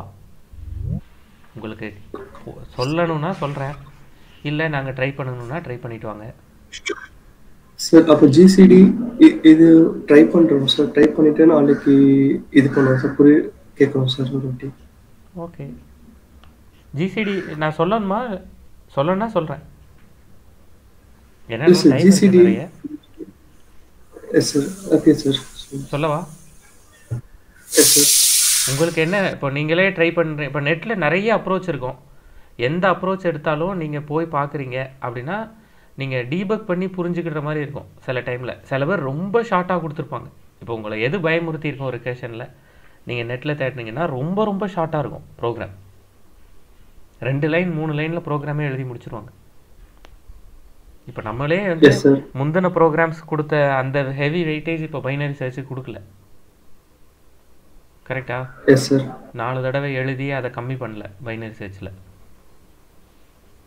நம்ம முன்னாடியே பைனரி சர்ச் தெரியுங்கிறத அப்படியே எழுதியிருக்கோம் அப்போ ஜிசிடி மட் ஜிசிடி சொல்கிறேன் நீங்கள் வந்து அப்போ ஓரளவு grip கிடச்சிரும் உங்களுக்கு. ரிகர்ஷனில் ஓரளவு grip கிடச்சிரும். அதை அதுக்கு அடுத்ததை ட்ரை பண்ணி பாருங்க. ஓகே சார் இப்போ இன்ட் நம்பர் ஒன் ஏதாவது ஒரு நம்பர் கரெக்டா நம்பர் டூ ஏதாவது ஒரு நம்பர் கரெக்டா வழக்கமாக ஜிசிடி எப்படி கண்டுபிடிப்பீங்க?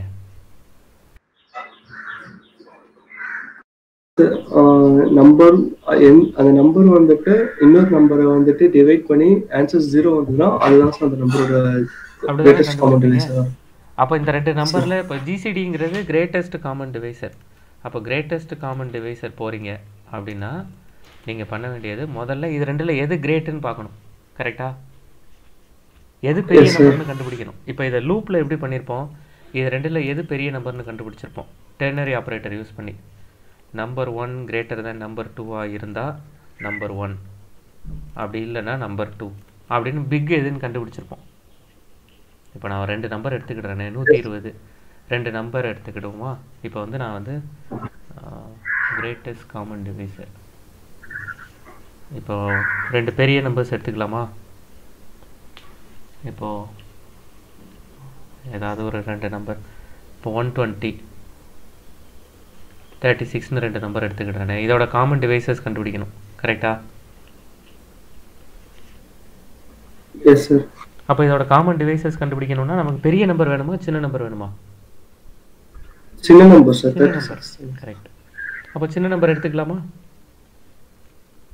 இது ரெண்டுல எது சின்னதோ அதுதான் காமன் டிவைசரா இருக்கிறதுக்கான பாசிபிலிட்டி இருக்கு. அப்படி தானே தேர்ட்டி சிக்ஸோட. டிவைசராகவும் தேர்ட்டி சிக்ஸ் இருக்கலாம். ஒன் டுவெண்ட்டியோட டிவைசராகவும் தேர்ட்டி சிக்ஸ் இருக்கலாம். அதுக்கு மேலே ஒரு டிவைசர் காமனாக ரெண்டு பக்கமும் கிடைக்க வாய்ப்பு இல்லை சரிதானே? எஸ் சார் அப்போ இந்த இடத்துல போயிட்டு இப்போ நம்ம என்ன பண்ண போகிறோம்னா இப்போ ஸ்மால் வந்து இப்போ நமக்கு தேர்ட்டி சிக்ஸ்னு கிடச்சிரும். இப்போ இந்த தேர்ட்டி சிக்ஸை முதல்ல செக் பண்ண போகிறேன் if number one modulus small equals equals to zero and number two number two modulus small equals to equals to zero அப்படி கிடைச்சதுன்னா அதுதான் என்னோட காமன் டிவைசரே அப்படி கிடைச்சதுன்னா அதையே சொல்லிடலாம். System dot out dot println GCD is அப்படின்னு சொல்லிட்டு ஸ்மால்னு சொல்லிடலாம். சரியா தப்பா? அப்படி கிடைக்கலன்னா அதான் கொஸ்டின் அதையே ரிட்டர்ன் பண்ணிடலாம். ரிட்டர்ன் ஸ்மால் அப்படின்னு ரிட்டர்ன் பண்ணிடலாம். அப்படி கிடைக்கலன்னா ஸ்மால் மைனஸ் மைனஸ் சரிதானே?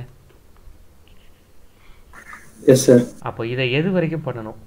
While small greater than one ஏன்னா எப்படி பார்த்தாலும் ஒன் வந்து கரெக்டாக தான் இருக்கும். அப்போ ஒன் வரைக்கும் பண்ணணும்.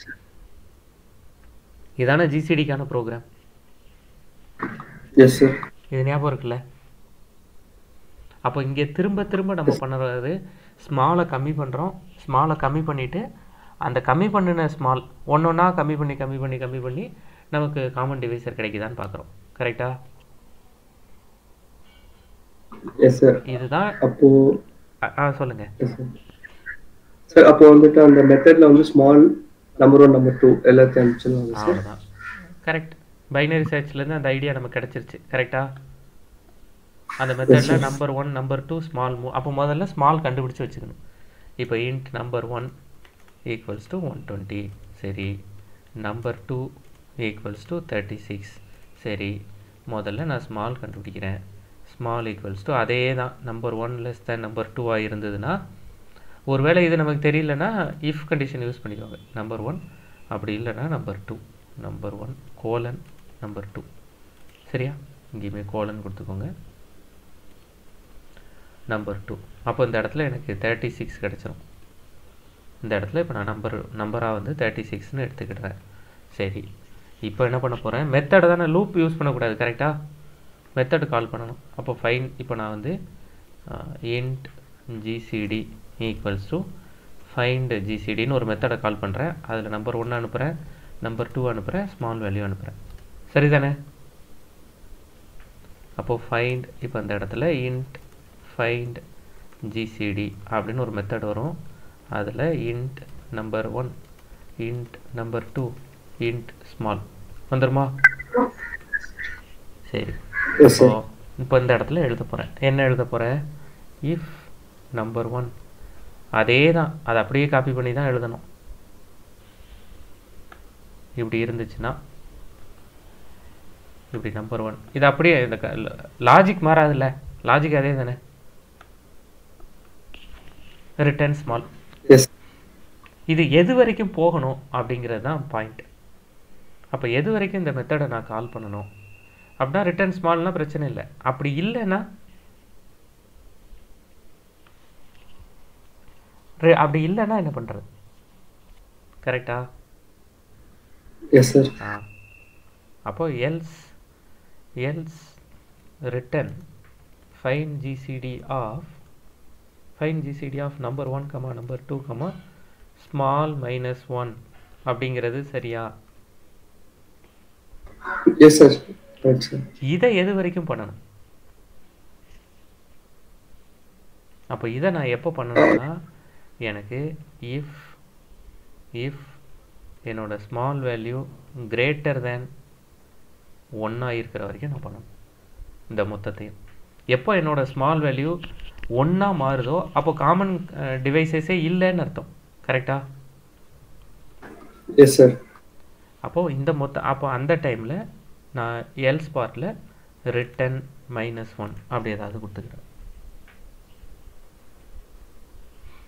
இல்லைன்னா ரிட்டன் லூப்னு கொடுத்துக்கிறேன். அப்போ மைனஸ் ஒன் எப்போ ரிட்டர்ன் ஆகுதோ இன்கேஸ் எனக்கு ஜிசிடியில் மைனஸ் ஒன்று ரிட்டர்ன் ஆச்சுன்னா there is no common divisors அப்படின்னு மெசேஜ் கொடுத்துக்கலாம். அப்படி இருக்காது பெரும்பாலும். அப்படி இருந்ததுன்னா அதை நம்ம கொடுத்துக்கலாம் இது சரியா. இது இதை இதை அப்படியே ட்ரை பண்ணோம்னா நமக்கு. இதுதான் ஜிசிடிக்கான ப்ரோக்ராம் புரியுதா? சார் புரியுது சார் இது எல்லாத்தையும் ட்ரை பண்ணி பார்த்துருவோமா? எக்லிப்ஸில் எஸ் சார்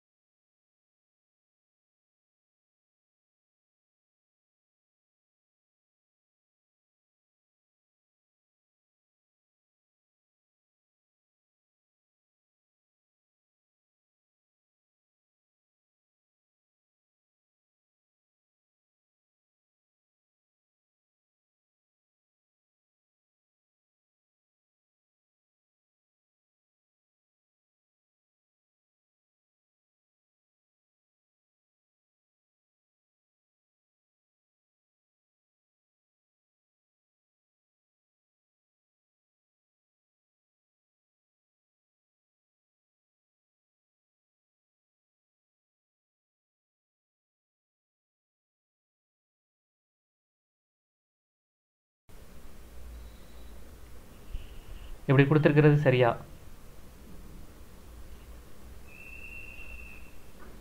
எஸ் சார் அவ்வளோதாங்க இப்போ இதை ட்ரை பண்ணி பார்ப்போம்.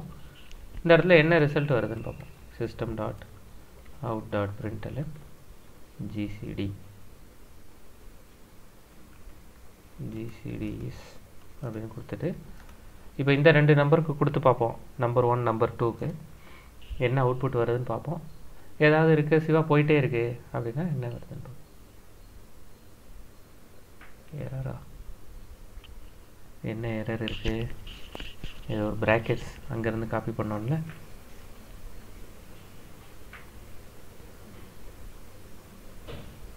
ஜிசிடி இஸ் டுவெல் கரெக்டா ரெண்டு தடவை வந்திருக்கு. GCD is twelve GCD is டுவெல்னு ரெண்டு தடவை வந்திருக்கு. ஏன் ரெண்டு தடவை வந்திருக்கு?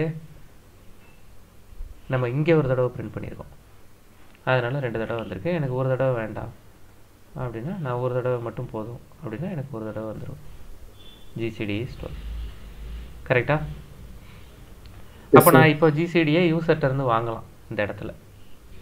இப்போ நான் ஜிசிடி இப்படி பண்ணுறதுக்கு பதிலாக வேறு ஏதாவது நம்பர் சொல்லுங்கள் இப்போ நான் இந்த இடத்துல ஹண்ட்ரட் ஏதாவது ஒரு நம்பர் வச்சுக்கலாமா? ஹண்ட்ரட் ஃபார்ட்டி நைன் இது ரெண்டுத்துக்கு இடையில ஏதாவது இருக்குமாங்க? Common divisors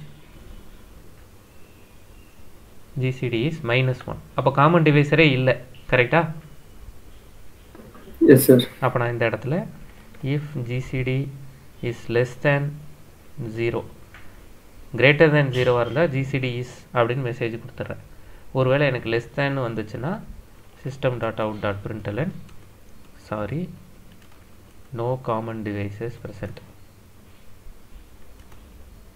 இல்லை no GCD can be found ஏதாவது ஒரு மெசேஜ் கொடுத்துக்கலாம்ல இப்படி? புரியுதா? எஸ் சார் அவ்வளோதான் அப்போ ஜிசிடி பண்ணிட்டோம். இதே மாதிரி நம்ம ஸ்ட்ரிங் ரிவர்ஸ் பண்ணுங்க. Decimal to binary binary to decimal ரெக்கர்ஷனில் என்னென்னலாம் இருக்கோ அது எல்லாமே நம்ம பண்ணலாம். அரே சார்ட்டிங் அப்போ இதெல்லாம் பண்ணிட்டு வரீங்களா? எஸ் சார் வேற ஏதாவது இப்போ. நான் ஆ சொல்லுங்கள் சார் சார் மெத்தட் கால் பண்றோம்ல சார் இந்த இன்ட் ஜிசிடி டு ஃபைன் ஜிசிடின்னு அந்த ஃபைன் ஜிசிடிக்கு வந்துட்டு நம்ம மெத்தட் டெஃபினிஷன் எழுதும்போது ஏன் சார் ஸ்டாட்டிக்னு கொடுத்தாதான் மெத்தட் எரர் காட்டாம இருக்கு? ஸ்டாட்டிக் கொடுக்கலன்னா எரர் காட்டாது. ஆமா நீங்க ஆப்ஜெக்ட் வச்சு தானே மெத்தடை கால் பண்ணியிருக்கணும் ஆப்ஜெக்ட் வச்சு. கால் பண்ணலன்னா ஸ்டாட்டிக் மெத்தட் ஓகே சார் இப்போ நான் ஸ்டாட்டிக் மெத்தட் நம்ம எக்லிப்ஸில் பண்ணாமல் நேராக வேற ஏதோ சும்மா நோட் பேடில் பண்ணி ட்ரை பண்ணி அங்கேருந்து இங்கே பேஸ் பண்ணுறதுனால அந்த ஸ்டாட்டிக்கெல்லாம் நம்ம அங்கே விட்டுறோம். எஸ் சார் ஆ. இது புரியுதா? எஸ் சார் புரியுது சார்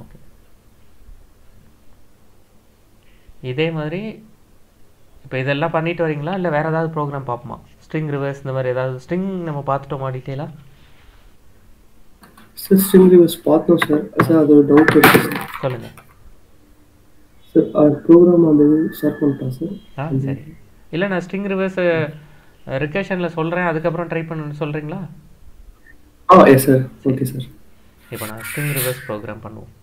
இப்போ நான் இன்னொரு ஒரு இது க்ரியேட் பண்ணுறேன் இந்த இடத்துல.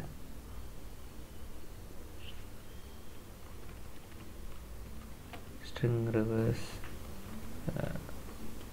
ரிகர்ஷன் அப்படின்னு ஒரு கிளாஸ் சும்மா க்ரியேட் பண்ணுறேன் இப்போ பாருங்க. ஸ்ட்ரிங்கில் வந்து ஸ்ட்ரிங் ரிவர்ஸ் பண்ணும்போது தெரிஞ்சிக்க வேண்டிய முக்கியமான மெத்தட் சப்ஸ்ட்ரிங் சப்ஸ்ட்ரிங்னு ஒரு மெத்தட் யூஸ் பண்ணியிருக்கோமா இப்போ நான் string name equals to Vineeth Sivasankaran அப்படின்னு எழுதுறேன்னு வைங்க. இதான் நான் கொடுக்குற ஸ்ட்ரிங் இப்போ நான் system dot out dot print of name dot சப்ஸ்டிங்கை கொடுத்தாலே உங்களுக்கு புரிஞ்சிடும் இப்போ நான் நேம் சப்ஸ்டிங் ஆஃப் நைன்னு கொடுக்குறேன். இந்த சப்ஸ்டிங் என்ன பண்ணுதுன்னு பார்த்து சொல்லுங்கள் எயிட் கொடுப்போம். சப்ஸ்டிங் ஆஃப் எயிட் புரியுதா? முன்னாடி இருக்கிறது நைன் எயிட் எயிட்க்கு அப்புறம் இருக்கிறது மட்டும் வருதா சார் எயித் பொசிஷன்ல. இருந்து இப்போ வினீத்தில் ஜீரோ டு சிக்ஸ் வரைக்கும் போயிருமா? அந்த ஸ்பேஸ்ல செவன்த் போயிருமா? அதுக்கப்புறம் இருக்குது. அப்போ சப்ஸ்ட்ரிங் ஆஃப் எயிட்னு கொடுத்தீங்கன்னா பிகின் இண்டெக்ஸ் எயிட் அப்படின்னு அர்த்தம். புரியுதா?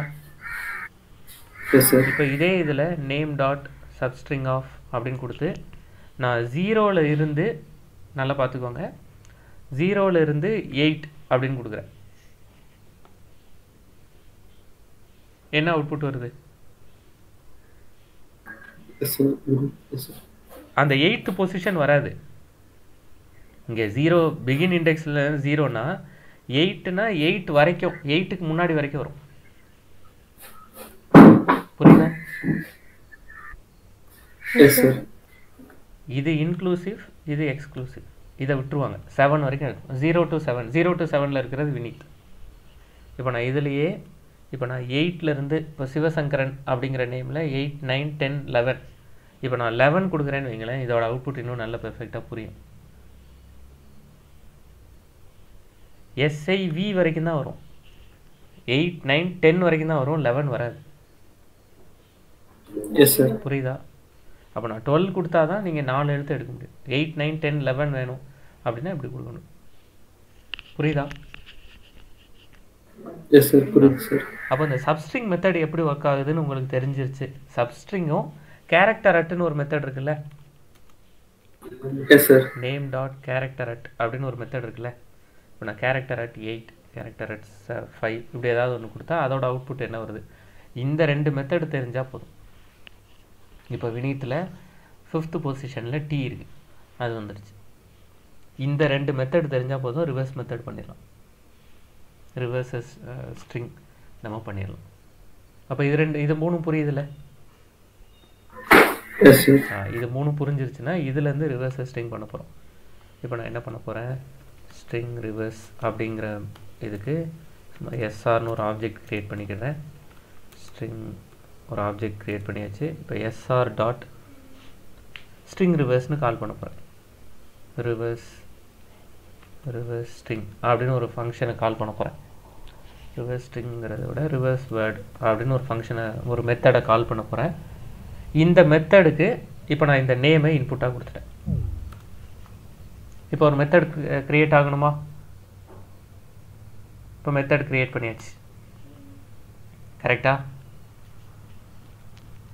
எஸ் சார் ஒன்றுமே கிடையாது. இதே மெத்தட் தானே திரும்ப திரும்ப கால் பண்ணணும்? எஸ் சார் இந்த பாருங்க. இப்போ இது ஒரு ஸ்ட்ரிங் மெத்தட் ஏன்னா எனக்கு ஸ்ட்ரிங் தானே ரிவர்ஸ் ஆகி போகணும். எஸ் சார் அதனால இது ஒரு ஸ்ட்ரிங் மெத்தட் இப்போ நான் வந்து ஸ்ட்ரிங் ரிவர்ஸ் அப்படின்னு அப்போ இங்கே ஸ்டோர் பண்ணிக்கிறேன். இவ்வளோ பெருசு பேர் பார்க்குறதுக்கு பதிலாக குட்டியாக நான் சும்மா இப்போதைக்கு ஏபிசிடிஇஎஃப் அப்படின்னு வச்சுக்கிறேன். அப்போ ஈஸியாக நமக்கு புரியும்ல? கன் மாறுறது. அதனால் அப்படி வச்சுக்கிட்டேன். சரியா? இப்போ return reverse word of return reverse word of word dot reverse word of name dot name dot substring of one substring of ஒன்று கொடுத்தா என்ன என்ன கிடைக்கும்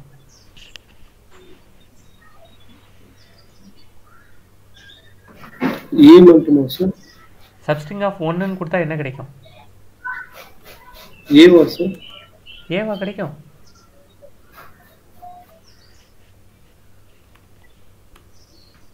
இப்போ சப்ஸ்ட்ரிங் ஆஃப் எயிட் கொடுத்தா என்னங்க கிடைச்சது? எயிட்டுக்கு அப்புறம் இருக்கிறதா சார் எல்லாமே.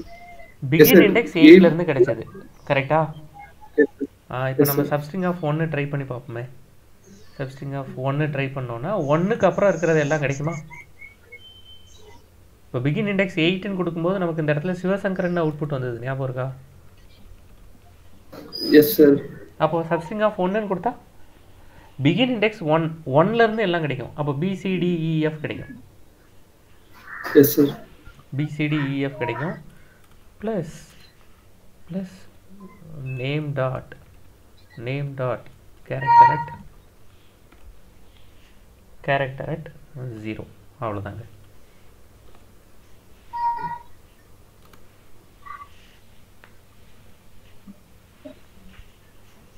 அவ்வளோதான் மொத்தமாக ரிவர்ஸ் ஸ்ட்ரிங் ப்ரோக்ராமிங் எக்ஸ்ட்ரா ஒரு இஃப் கண்டிஷன் சேர்க்க வேண்டியிருக்கும் அவ்வளோதான் இது எப்படின்னு சொல்கிறேன் பாருங்கள் இந்த இந்த கோடை எடுத்து வச்சுக்கோங்க. இது எப்படின்னு சொல்லவா? ரிவர்ஸ் ஸ்ட்ரிங் எப்படின்னு சொல்லவா? பாருங்க. ஓகே சார் இந்த கோடை எடுத்து வச்சுக்கலாம். இப்போ எனக்கு என்ன ஐடியாங்கிறது சொல்கிறேன் என்கிட்ட இந்த ஓகே இந்த கோடு கூட வேண்டாம். என்கிட்ட ஏபிசிடி இஎஃப்னு இருக்குது ஏபிசிடி மட்டும் வச்சுக்கிடுறேன். நான் என்ன தெரியுமா பண்ணுறேன் ஃபஸ்ட்டு சிஸ்டம் டாட் அவுட் இதான் எனக்கு கொடுத்துருக்கிற வார்த்தை. அப்படி தானே இதான் எனக்கு கொடுத்துருக்கிற நேம் இல்லை வேர்டு ஏதாவது ஒன்று வச்சுக்கிறேன் இதான் எனக்கு கொடுத்துருக்கிற வேர்டு ஏபிசிடி அப்படின்னு வச்சுக்கிறேன் சரியா? இப்போ என்கிட்ட என்ன கேட்குறாங்க இதை ரிவர்ஸ் பண்ணி பிரிண்ட் பண்ண சொல்கிறாங்க அப்படி தானே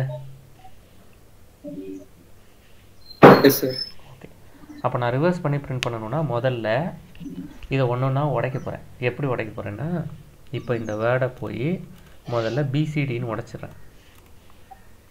அதுக்கப்புறமா இப்போ நான் என்ன பண்ண போகிறேன் அப்படின்னா print அப்படின்னு ஒரு மெத்தடை கால் பண்ண போகிறேன் print ஃபோர் அப்படின்னு ஒரு மெத்தடை கால் பண்ண போகிறேன் அதுக்கு இந்த வேர்டை அனுப்பிச்சு வைக்க போகிறேன் அப்போ பிரிண்ட் ஃபோர்னு ஒரு மெத்தட் கால் ஆகுமா? அதில் இந்த வேர்டு போய் உட்காந்துருமா கரெக்டா இப்போ இந்த மெத்தட்ல இருந்து இந்த மெத்தட்ல இருந்து நல்லா பார்த்துக்கோங்க. பிரிண்ட் த்ரீ அப்படின்னு ஒரு மெத்தடை கால் பண்ண போகிறேன் அதுக்கு இந்த வேர்டில் இருந்து எனக்கு substring of substring of one அப்படிங்கிறத கால் பண்ண போகிறேன் அப்போ எது கால் ஆகும்? Print print த்ரீன்னு ஒரு மெத்தட் கால் ஆகுமா? அதில் சப்ஸ்ட்ரிங் ஆஃப் ஒன்றுன்னு கொடுத்தா ஏபிசிடியில் எது போகும்? பி பி இல்லை பிசிடி அப்போ print த்ரீ மெத்தட் கால் ஆகுமா? Print த்ரீ ஆஃப் ஸ்ட்ரிங் வேர்டுன்னு இப்போ இந்த வேர்டில் என்ன வேல்யூ இருக்கும்? பிசிடி பிசிடி இருக்கும். இப்போ print two of word dot substring of substring of one அந்த மெத்தடை கால் பண்ணுறேன் இப்போ என்ன கால் ஆகும்? இப்போ என்ன மெத்தட் கால் ஆகும்? print டூ கால் ஆகுமா? அதுக்கு என்ன வேல்யூ போகும்? சிடி போகுமா. இப்போ print டூவை கால் பண்ணுறோம் இப்போ பிரிண்ட் டூவை கால் பண்ண போகிறோம் ரெக்கஷனுங்கிறது அதே தானே இப்போ print two print two of string of word வேர்டில் என்ன இருக்குது இப்போ? சிடி சிடி இப்போ பிரிண்ட் ஒன்று கால் பண்ண போகிறோம் print one equals to word dot substring of one இப்போ சப்ஸ்ட் வேர்டில் என்ன இருக்கு? டி டி கரெக்டா இப்போ பிரிண்ட் ஒன் பிரிண்ட் ஒன்னுன்னு ஒரு மெத்தடை கால் பண்ண போகிறோம் string of word string of word இதில் இப்போ என்ன இருக்கும்? டி கரெக்டா கரெக்ட் தானே? இப்போ இப்போ. நான் என்ன பண்ண போறேன் தெரியுமா? இப்போ இங்க ஒரு இஃப் கண்டிஷன் சேர்த்துக்க போறேன். இஃப் வேர்ட் டாட் லென்த் கண்டுபிடிக்கலாம்ல? லென்த் ஈக்குவல்ஸ் ஈக்குவல் இப்போ லென்த் என்ன? வேர்ட் டாட் லென்த்தோட லென்த் என்ன? ஒன் சார் ஒன் அப்படி ஒன்றா இருந்ததுன்னா எனக்கு வேர்டே ரிட்டர்ன் பண்ணுங்க.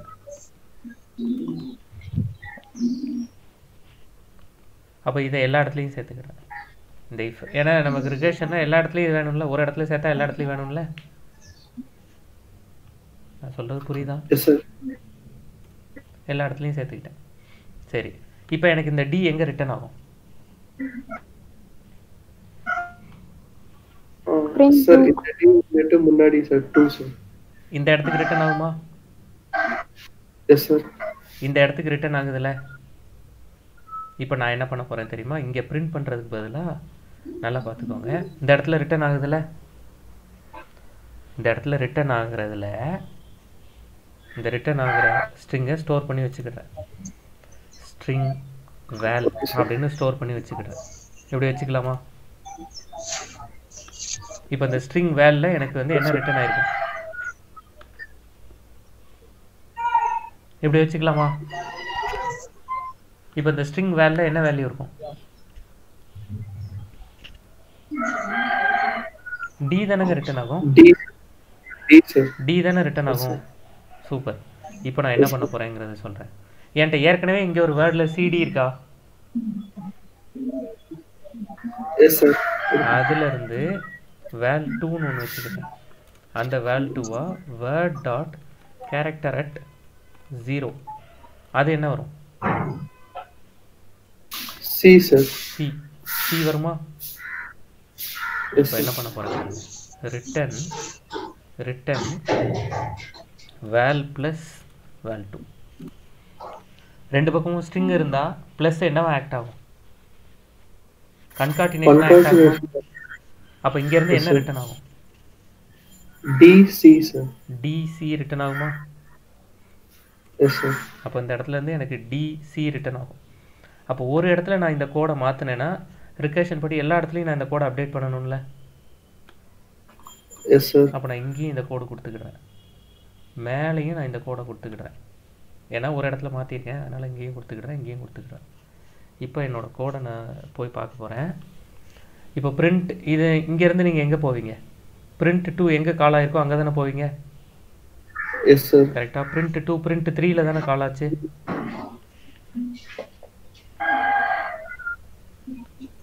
அப்படிதானேங்க இப்போ டிசி எங்க ரிட்டர்ன் ஆகும்?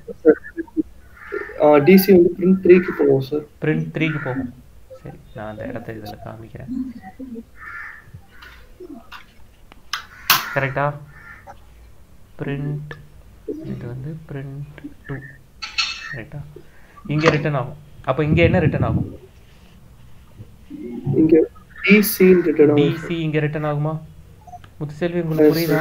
துரை புரியுதா? எஸ் சார் இங்கே இப்போ வந்து டிசி ரிட்டர்ன் ஆகுமா? எஸ் சார் இங்கே இருக்கிற கேரக்டர் அட் ஜீரோ என்னது? பி சார் அப்போ இந்த இடத்துல பி வந்துருமா? வேல் டூவில் நீங்கள் வேல் ப்ளஸ் வேல் டூன்னு கொடுத்தீங்கன்னா வந்துருமா? இந்த டிசிபி எங்கே ரிட்டர்ன் ஆகும்? Print four sir print three இந்த இங்கே தானே பிரிண்ட் த்ரீ கால் பண்ணுவோம்? இங்கே ரிட்டர்ன் ஆகுமா? அந்த பிரிண்ட் ஒன்றுன்னு இருக்கு அது பிரிண்ட் த்ரீன்னு மாற்றிக்கோங்க இங்கே ரிட்டர்ன் ஆகுமா? அப்போ இந்த வேலோட வேல்யூ இப்போ இந்த வேலோட value DCB yes sir val டூவோட வேல்யூ ஆல்ரெடி உங்ககிட்ட இருக்கிற string ABCD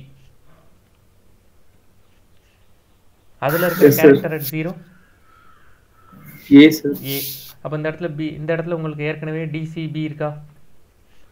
Plus A yes sir DCB A DCB. Return ஆகுமா? இந்த டிசிபிஏ இங்கே ரிட்டர்ன் ஆகும். சரியா தப்பா? எஸ் சார் கரெக்ட் சார் அவ்வளோதாங்க அப்போ நான் இந்த இடத்துல print four one two three ஃபோர்லாம் வைக்கிறதெல்லாம் எடுத்து விட்டுறலாம். எடுத்து விட்டுட்டு எனக்கு இந்த ஒரு மெத்தடே போதும். ஆல்ரெடி பிரிண்ட்னு ஒரு மெத்தட் இருக்கிறதுனால அந்த நேமை யூஸ் பண்ணுறதுக்கு பதிலாக இதெல்லாம் இப்போ எனக்கு இப்போ தேவையில்லை. சரிதானே? எஸ் சார் ஆ அப்போ நான் இந்த இடத்துல பிரிண்ட்டுன்னு மெத்தட் நேம் வைக்கிறதுக்கு பதிலாக வேறு ஏதாவது ஒரு பேர் வச்சுக்கிடுறேன் அந்த நேம் வச்சா எனக்கு இந்த மெத்தட் முடிஞ்சு இந்த ப்ரோக்ராம் முடிஞ்சது. இதை ட்ரை பண்ணி பார்ப்போம். இதில் ஏதாவது ஃபிக்ஸ் பண்ணணும்னா ஃபிக்ஸ் பண்ணிக்கலாம். ஓகே சார் இப்போ நான் பிரிண்ட்டுன்னு பேர் வைக்கிறதுக்கு பதிலாக ரிவர்ஸ் வேர்ட் அப்படின்னு பேர் வச்சுக்குவா ஓகே சார் இங்கேயும் ரிவர்ஸ் வேர்ட் இங்கேயும் ரிவர்ஸ் வேர்ட் புரியுதா? எஸ் சார் புரியுது சார் அவ்வளோதாங்க ரிவர்ஸை நம்பரை விட ரிவர்ஸ் வேர்டு ஈஸி ப்ரோக்ராம் இப்போ நம்ம நம்ம இந்த ப்ரோக்ராமுக்கு போயிடுவோம். அப்போ ரிவர்ஸ் வேர்டில் நம்ம இந்த கோடை அப்படியே காப்பி பண்ணி வச்சா போதும். கரெக்டா இந்த இடத்துல. என்ன இங்கே நேம்னு கொடுத்துருக்கோம் வேர்டுன்னு கொடுத்துருக்கோம். இங்கே வேர்டுன்னு வேணால் மாற்றிக்கிறேன் அப்போ வேர்ட் டாட் கேரக்டரை இது கேரக்டர் கேரக்டர் தானே? அதனால் எரர் காமிக்குது. ட்ரை பண்ணி பார்ப்போமா இது ஒர்க் ஆகுதா? பார்ப்போமா எஸ் சார் ஓகே இப்போ இந்த ரிவர்ஸை நம்ம பிரிண்ட் பண்ணணும். இங்கே. System dot out dot println reversed word is அப்படின்னு கொடுத்து இங்கே ஆர்இவி அப்படின்னு பிரிண்ட் பண்ணணும் ஏபிசிடிஎஃப் வருதா பார்ப்போம் வந்துருச்சா?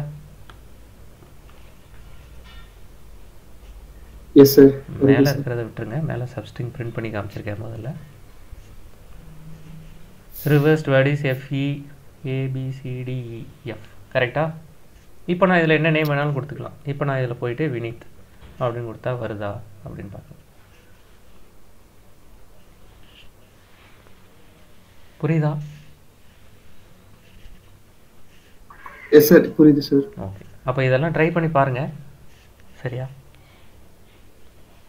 ரொம்ப பொறுமையாக ட்ரை பண்ணுங்கள் ரெண்டு பேர் இல்லை மூணு பேர் சேர்ந்துட்டு உட்காந்துட்டு ட்ரை பண்ணுங்கள் ஏன்னா நமக்கு எண்ட் ரிசல்ட்டு நமக்கு இப்போ இப்போ இந்த இந்த ப்ரோக்ராமை புரிஞ்சுக்கிடுறது ஈஸி ஆனால் இந்த ப்ரோக்ராமை எப்படி டிரைவ் பண்ணியிருப்பாங்கன்னு யோசிக்கிறது கஷ்டம். இப்போ நானாகவே இதை எனக்கு பண்ண முடியலையே அப்படிங்கிற தயக்கம் தான் நிறைய டெவலப்பர்ஸ்க்கு இருக்கும். அது இப்போதைக்கு தேவையில்லை. முதல்ல இந்த மாதிரியான நிறைய ப்ரோக்ராம்ஸ் பண்ண பண்ண பண்ண பண்ண உங்களுக்கே அந்த ஐடியா அனுபவத்தில் எக்ஸ்பீரியன்ஸில் அது உங்களுக்கு வந்துடும் எக்ஸ்பீரியன்ஸ் பண்ணாமல் இது நானாகவே பண்ண முடியலையேன்னு கவலைப்படாதீங்க. அப்படிப்பட்ட கவலையே தேவையில்லை. பொறுமையாக பண்ணுங்கள் போதும். அப்போ ரிகர்ஷனில் ஓரளவு ஸ்ட்ராங் ஆயிருவீங்க இன்னைக்கு. அப்படி நம்பலாமா? ஏன்னா இன்னைக்கு நிறைய ப்ரோக்ராம்ஸ் பார்த்துட்டோம்.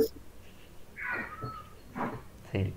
அப்போ இதை ப்ராக்டிஸ் பண்ணிட்டு வாங்க. நம்ம நாளையிலேருந்து வேறு டாபிக்ஸ் பார்க்க ஆரம்பிக்கலாம். Okay sir thank you sir ஆ சொல்லுங்கள் சார் மெட்டீரியல் அந்த ப்ராக்டிஸ் பண்றதுக்கு அது கொடுத்துருக்கேன் நான்.